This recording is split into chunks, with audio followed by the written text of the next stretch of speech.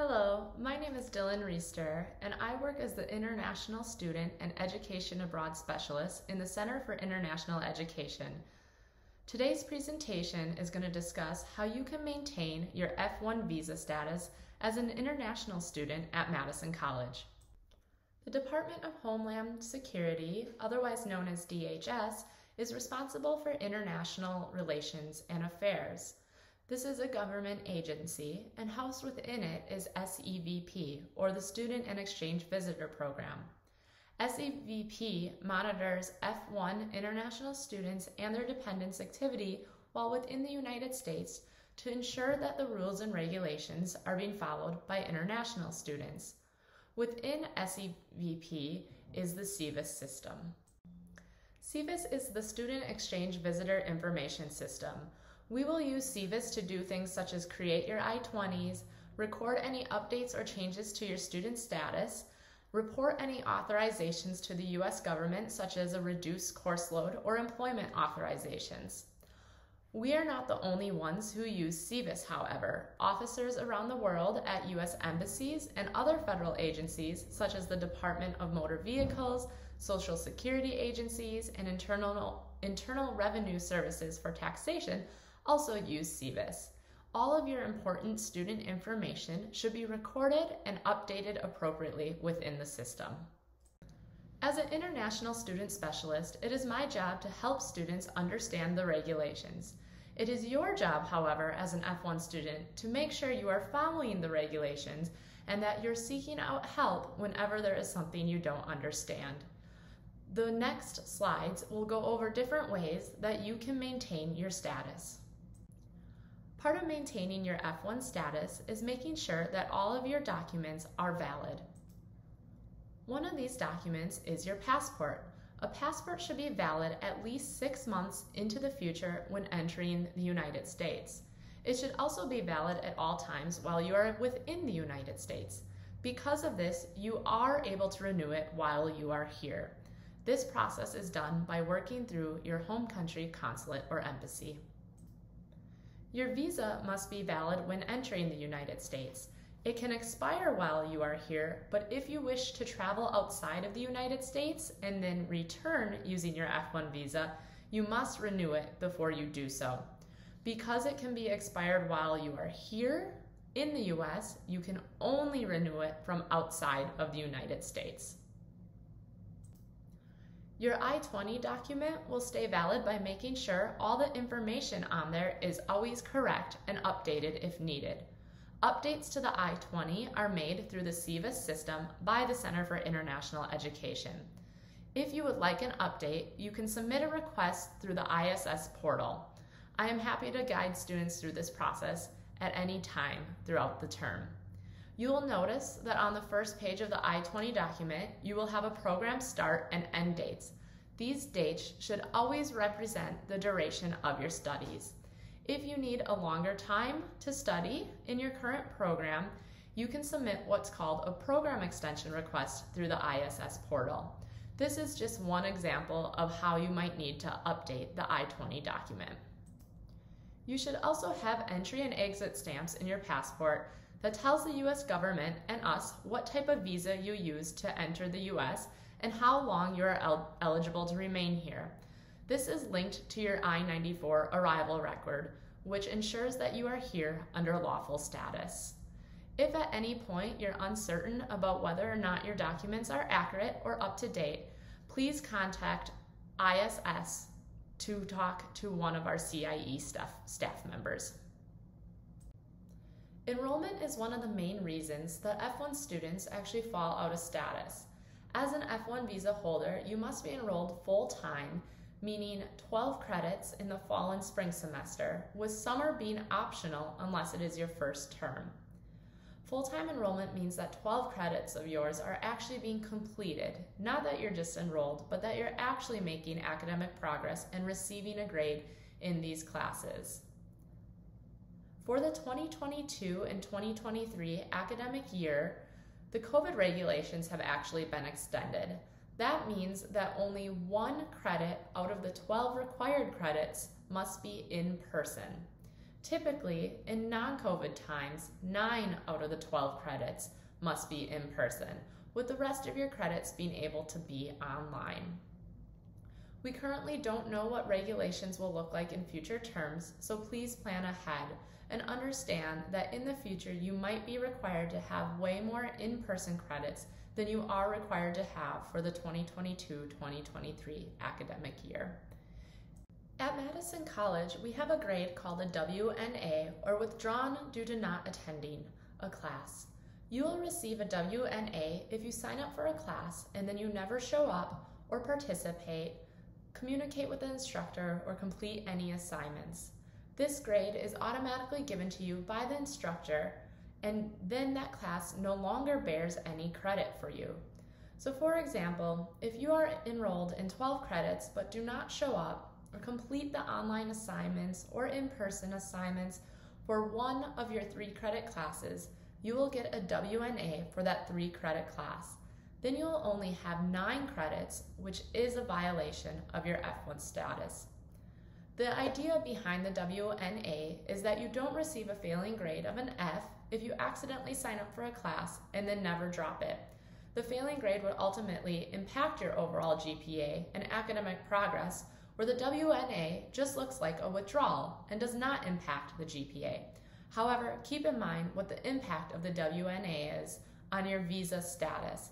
It is problematic because it could be difficult to rebuild your schedule with 12 credits at any point in the term when you might receive a WNA.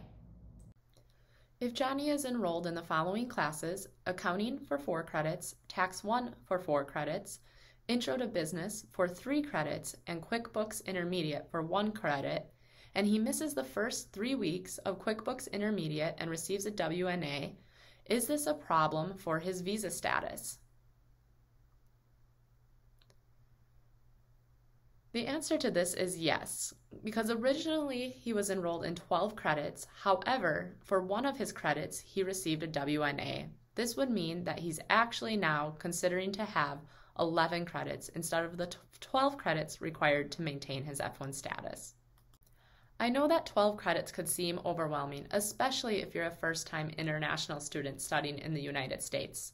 The F1 visa regulations do allow a few options for taking less than 12 credits. The following reasons for being authorized for a reduced course load include academic difficulties, medical need, or if you're in your final semester. You might qualify for an academic difficulty reduced course load if you're having unfamiliarity to teaching methods in the United States, difficulty with reading requirements, or if you're placed in an improper course level. The academic difficulty RCL is generally available in your first or second semester, so that's a good time to gauge whether or not you can handle a 12 credit course load. If you have a medical need, such as a physical accident, a sickness, depression, anxiety, maybe cultural shock, etc., you might also be eligible for a medical RCL. In order to be eligible, you must get a letter from a doctor. Uh, the doctor must be a medical doctor or MD, a doctor of osteopathy, or a licensed psychologist within the United States. And finally, you'll be eligible for a final semester reduced course load if you need less than 12 credits to graduate in your final semester. So, for example, if you only need six credits to graduate, we can give you permission to take only six credits in that final semester. RCL requests are submitted through the ISS portal, processed by the staff in the Center for International Education, and then reported to SEVIS. I've mentioned a few times throughout this presentation that we are required to report and update any changes to your student status or situation to the SEVIS system. One of those changes might be your address. While you are here, the U.S. government requires that you have two addresses on file at all times your local address, which is the one here in the Madison area, and your permanent address from abroad. Your local address here must be a physical street address. It cannot be a post office box because those are not allowed in the SEVIS system. You must report any changes to your address through your My Madison College portal within 10 days of moving. As mentioned before, you'll report updates to your address in your My Madison College portal. By now you should know how to access and utilize the portal, but just in case you don't, here is a little snapshot of what it looks like. If you type in My Madison College portal into the search bar on the Madison College website, you'll be brought into a page where you can log into the portal. There you'll see a variety of different tiles. Any updates to your address or your personal information can be done utilizing the My Profile tile. Employment is often an interest of students who have the F1 visa. It is a benefit for you to take advantage of while you're here in the United States. However, it's important to keep in mind that you need an authorization in order to engage in employment that is off campus. On campus employment is much more accessible, however. International students can start working during fall and spring semesters. You can work up to 20 hours per week during the school year. If you're interested in on campus employment, please visit our Career and Employment Resource Center or contact the Center for International Education. Please keep in mind that on campus employment is limited to Madison College or the regional campuses of Madison College.